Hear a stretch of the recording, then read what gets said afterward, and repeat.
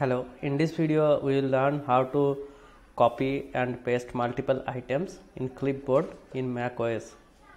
Uh, we will be using Flycut app uh, to do this.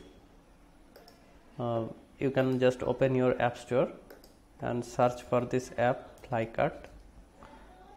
I am recommending this app because uh, this is only of 1.2 MB. The size is pretty much smaller than other applications and the rating is also good so once you will install it you don't have to do anything.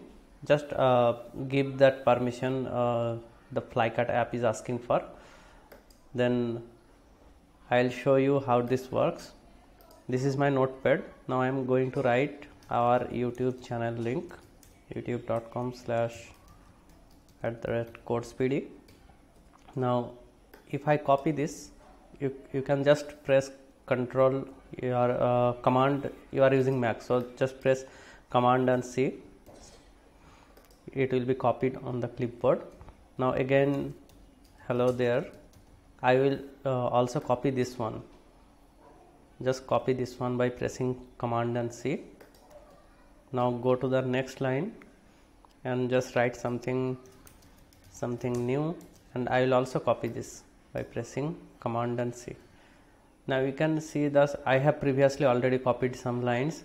So how you can paste those? If I just press command and V it will be pasting the last copied item from the clipboard.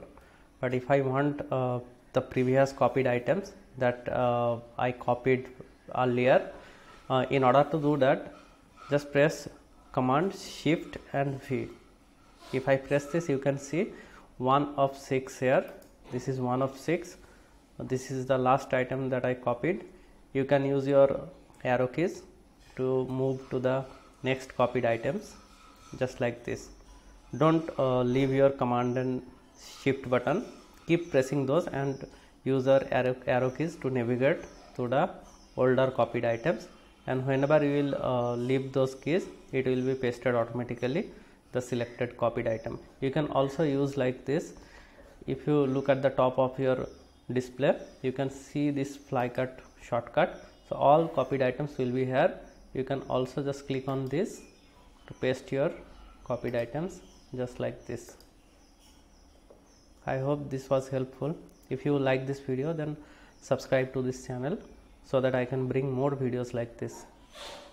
Have a great day